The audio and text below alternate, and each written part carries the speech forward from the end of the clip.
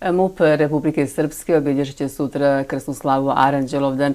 U susret Aranđelovdanu mi smo priučili i razgovor sa predstavnicima policijske uprave Gradiška. Razgovarat ćemo o svim onim aktualnim i važnim temama e, vezanim za policijsku upravu Gradiška. Moji gosti su e, načelnik policijske uprave e, Gradiška, gospodin Slobodan Torbica i načelnik kriminalističke policije ove uprave, gospodin Bojan Mišetić. Dobro vam jutro. Dobro nam došli. Dobro jutro, bolje vas našli. Pozdrav vama i vašim gledalcima. Dobro jutro, pozdrav gledalcima. Evo, možda prvo pitanje, e, sutra je Aranđelo Dovan Krasnoslava Ministarstva unutrašnjih poslova Republike Srpske. Vi ste određene aktivnosti po tom pitanju i započeli, dakle, bila je na dobrovoljna akcija darivanja krvi. E, kako će biti proslavljen Aranđelov dan u Gradišci, na koji način i e, da li je sve spremno? Jeste, naravno, kao i svake godine Ministarstvo unutrašnjih poslova pristupa obilježavanju naše krsne slave. Kao što ste već napomenuli, mi smo određene aktivnosti započeli, a to je dobrovoljno darivanje krvi. Moram ovaj put da napomenem da su tu naši pripadnici koji su već preko 50 puta darivali krv na području znači našeg e, grada i naše policijske uprave. Zatim e, smo organizovali i za naše najmlađe građane, ovaj, sugrađane, za našu dječicu iz osnovnih škola i vrtića, dane otvorenih vrata, koja je uvijek rado posjećena manifestacija, izaziva posebnu pažnju kod naše dječice. A sutra ujutru u 9 časova u našoj crkvi, znači organizujemo ovaj, liturgiju u 9 časova, u 11 časova ćemo pristupiti paljenju svijeće i polaganju vijenaca ispred e, spomen e, sobe našim poginulim pripadnicima koji su nastradali u odbrombeno otačbinskom ratu. Nakon toga organizovat ćemo i kratak koktel za, za sve zvanice koje će biti upriličene u prostorijama policijske uprave Gradiška.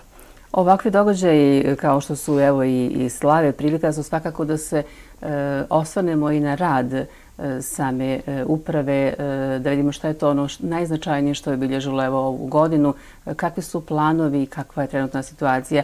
Mi smo, zahvaljujući, imamo dobro saradnju sa vama, imate redovne preskonferencije i informišete i javnost o svemu onome što radite i što se dešava na području e, policijske uprave Gradiška. Tako da smo mi jednim dijelom i upoznati sa vašim aktivnostima, ali svakako e, da ne pamtimo i ne znamo sve ono što, bi, što je važno i što bismo trebali znati. Pa evo, već smo pred kraj mjeseca novembra, možemo tako reći. Kako biste prije svega ocijenili stanje bezbjednosti kada je u pitanju novembar, a kako kada je u pitanju svih ovih deset proteklih mjeseci? Pa mi smo stanje bezbjednosti na području koje pokriva policijska uprava Gradiška na zadnjem devetomjesečnom izvještaju ocijenili kao zadovoljavajuće. E, bezbjednost je jako promjenjiva i osjetljiva kategorija. E, dovoljan jedan događaj da vam mhm, promijeni čitavu komplet sliku znači stanja bezbjednosti, a mnogo truda i rada treba se uložiti od strane pripadnika ovaj, da se dođe do, do jedne kompletne slike oko stanja bezbjednosti. Vi znate li i našim dolaskom na čelo ove uprave i ovih ljudi koji su prvi moji saradnici, ovdje smo baš kod vas gostovali, gdje smo najavili da posebnu pažnju ćemo posvetiti borbi protiv narkomanije i borbi protiv alkoholizma mislim da smo jednim velikim dijelom to i uspjeli. E, načelnik će vas upoznati o, o nekakvim akcijama, aktivnostima koje smo ovaj, sprovodili u proteklo vrijeme, mada ste vi svjedoci toga. Kroz svaku tu aktivnost koju smo sproveli, redovno smo obavištavali naše građane. To će biti nama u fokusu u narodnom periodu. E, ono u čemu još treba da radimo, to je stvarno da, da se potrudimo svi zajedno da smanjimo broj tih saobraćajnih nezgoda kojima je glavni uzrok alkohola. To je ono što će biti prioritet u radu policijske uprave Gradiška zajedno sa borbom protiv narkomanije u narodnom periodu, zatim borba protiv korupcije i borba protiv organizovanog kriminala svih vidova.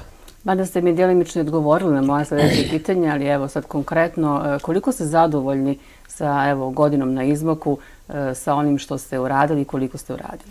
E, kao što znate, vjerovatno, e, rad policijske uprave u zadnje vrijeme je podmlađen sa dosta ovaj pripadnika koji su mladi, koji su tek završili svoje školovanje. Jedan dio već imamo još na školovanju, tako da su to ovaj radnici koji tek, da tako kažem, sazrijevaju mhm. starije kolege u, u svojim poslovima. Zadovoljan sam radom ovaj, policijske uprave Gradiška, mada vam kažem, e, nisam od onih koji će biti zadovoljan 100%, uvijek može bolje i takav je nekakav stav čitavog rukovodstva policijske uprave da te mlade ljude guramo ovaj, na još jedan veći nivo, još jednu veću distancu da postavimo tu ljestvicu prema gore. E, naravno, bezbjednost kao bezbjednost uvijek možemo ocijeniti na osnovu statističkih podataka kome mi u zadnje vrijeme baš nismo ovaj pobornici toga, jer kažem, dovoljan jedan događaj da vam promijeni stanje bezbjednosti, da naši građani ne osjećaju se onako kako bi trebalo, to je bezbjedno. U, u susretu evo, i novogodišnjim i svim božićnim praznicima e, mi ćemo pojačiti mjere našu prisutnost u, u, u prisutstvu blizini svih ugostiteljskih uh -huh, objekata, saobraćajnica, jer veliki broj građana dolazi da posjeti rodbinu i, i svoje porodične domove. Tu smo naravno 24 sata i potom se i razlikujemo jeli, od građana dok svi imaju svoje odmore, mi smo tu da radimo za njih. To i očekujemo od vas. Jeste. U narodnom periodu bit ćete vi ovaj, svjedoci još e, nekoliko akcija koje ćemo izvesti na području policijske uprave Gradiška, jer po pitanju kriminaliteta radnici rade neprekidno, znači 24 sata i mnogo posla, mnogo vremena zahtjeva da se određeno ovaj, krivično dijelo dokumentuje u zadnje uh mhm, -huh, vrijeme, uh mhm. -huh. da se preda na sud kako bi bila podignuta optužnica. Ono što je najbitnije za nas su osuđujuće presude mi, e, tako da kažem, lako sprovedemo akciju, završimo je, ali ono što je bitno je kako to da dokumentujemo.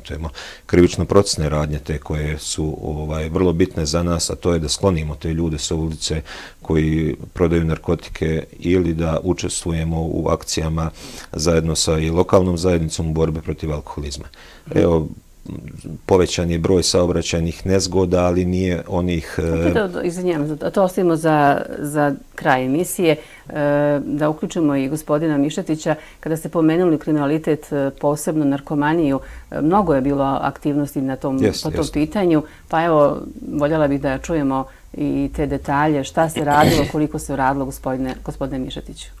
Pa evo ovako, ovaj, ja ću nada sve napomenuti, znači operativne akcije koje smo izveli tokom ove godine, ove koje su usmjerene na krivična dijela zloupotreba operativnih droga. Znači to je opet operativna akcija na kodnog naziva Armagedon koja je rezultovala pronalaskom laboratorije za proizvodnju uzgoj opojne droge Skank gdje je pronađeno oko 62 kg opojne droge što je značajan uspjeh za ovu policijsku upravu. Zatim imamo uh, akciju operativnog naziva Wolf gdje smo također lišili slobode više lica vezano za krivična djela zlopodebe opojne droga koje su sa područja drugih gradova dolazili na naše područje i distribuirala opojnu drogu. Zatim imamo poslije te aktivnosti, znači imamo i aktivnost uh, u vezi uh, operativne akcije kodnog naziva Galerija, mhm. koja je rezultovala, znači kao što se i sami svjesni i znate i izazvala je najviše pažnju javnosti uh, gdje smo lišili slobode sedam lica, E, gdje su lica trenutno u pritvoru, što znači ovaj da smo uspjeli svojim aktivnostima, znači nekakvim dokazati da su ta lica djelovala kao grupa, organizovana kriminalna grupa i da su ovaj distribuirala opojnu drogu, najviše opojnu drogu kokain korisnicima na području našeg grada.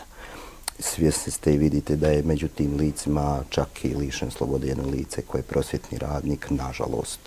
No međutim, evo, to su stvari sa kojima se mi borimo i sa kojima ćemo nastaviti u dogledno vrijeme da se borimo i kao što je načelnik kad je došao i nagovijestio ta krivična tijela su nam prioritet, jer to je, nažalost, pošast ne samo kod nas, već i u svijetu. Da, kao što sam rekla i ranije, e, mi smo i upućeni u sve ono što vi radite, zahvaljujući upravo e, vašim redovnim izvještajima koje nam šaljete i preskonferencijama koje organizujete. A nekako se stiče utisak da je E, previše e, tih e, kriminalnih radnji, možemo tako reći, u našem gradu, prateći sve te aktivnosti vaše i akcije. Ima to veze zbog, zato što smo mi pogranična pogranična opština, pogranični grad. Koliko to doprinosi u stvari ovim negativnim pojavama u ovoj oblasti? Pa jeste, tu ste u pravu. Mi smo granična zona prema Evropskoj uniji i svi gledaju da iskoriste tu granicu da svoje te ovaj, kriminalne radnje prebace prema Evropskoj uniji. E, vidite sve ovaj svi gradovi u pograničnoj zoni su ovaj meta takvih organizovanih mm -hmm. kriminalnih grupa tako i kod nas e, međutim borba protiv narkomanije spada u nekakvu sivu zonu kriminaliteta koju mi zovemo ovaj koja nije vidljiva ljudima ljudi ne znaju da se to radi ne mogu da vide golim okom ovaj e, na koji način e, djeluje ta kriminalna grupa i vi samim preventivnim, a i represivnim radom kada otkrivamo te kriminalne grupe, dolazi do otkrivanja takvih krivičnih dijela. Mi smo imali na par ovaj situacija na sastancima sa lokalnom zajednicom pitanje zašto je došlo do 300% povećanja ovaj krivičnih dijela iz oblasti narkomanije. E, ta krivična dijela postoje. Međutim, on došlo je do povećanja statistički gledano samo mhm. zahvaljujući radu policijskih službenika, a ne zato što njih nema. On je samo, realno govorići, ona su tu. Samo, samo pojačani. Jest, jest, jest. Tako da pogranična zona u najvećem broju slučajeva je uzrok ovaj stvaranju tih organizovanih kriminalnih grupa zbog tog što je Evropska unija jedno veliko tržište s nabiveno i boljim ovaj prilivom naučenih sredstava i drugim. Evo, gospodine Mišetiću, e, načelnik je rekao da vi radite 24 časa kao u stvari cijela policijska uprava, pogotovo e, vi iz krim policije. E, kako prevenirati sve ove negativne pojave? Imate li e, neke planove i neke, e, da kažemo, zadatke koje ćete u budućnosti provoditi? Pa slušajte, kao i uvijek, Ministarstvo unutrašnjih poslova, pa samim tim i ova policijska uprava planira određene aktivnosti u narednom periodu gdje nam je svima cilj, znači suzbijanje te pojave i to sve. E, mada ja želim uvijek da naglasim da nije Ministarstvo unutrašnjih poslova, znači jedini organ koji treba da se bori protiv toga, protiv ove pošasti, znači treba da se borimo sve, cijelo društvo i mhm, svi mhm. sami građani, posebno roditelji, ovaj, koji treba da obrate pažnju na svoju djecu, na njihovo ponašanje i na bilo kakvu negativnu pojavu, da ne reaguju na način kao što naši roditelji reaguju, da se zatvore u sebe, odnosno ne, ne žele uključiti određene organi institucije, znači kako bi se pomoglo tome djetetu, a vjerujte znači da u dosadašnjoj praksi koja je i meni i načelniku velika ovaj, da se pokazalo da kad na vrijeme se reaguje i kad se na vrijeme znači, dođe u određenu instituciju da se tom djetetu stvarno pomogne. Da. A ov, na ovaj način, uh, ako, ako se zatvorimo u sebi, ako to zatvorimo u kuću, nema, nema teorije da će vam neko pomoći, ako ne zna za to. Ovaj, a u samim tim, znači, E, Ministarstvo unutrašnjih poslova svoje aktivnosti usmjerava i prema naj, najmlađim uh -huh, i mhm. raznoraznim predavanjima, raznoraznim upoznavanjima sa našim aktivnostima, evo, dan otvorenih vrata, uh -huh, uh -huh. sve te aktivnosti su usmjerene sa, ka tome da, da, da utičemo, znači da, da, da nam ta pojava bude što manja. E, kao što rekli ste, potrebno da se uključi cijelokupno društvo i vjerujem da će tako i biti. Evo, možda i vi, gospodine Torbica, želite nešto dodate kada je riječ o ovoj e, preventivi prije svega? Jeste, kao što je kolega i rekao, mi moramo ovaj, da djelujemo svi kao jedan sistem. Uh mhm. -huh. Počeo od preškolskog ovaj, obrazovanja, zatim o škola, fakulteta i slično. Međutim, najosnovniji stub ovaj, koji nama treba da pomogne u tom je porodica.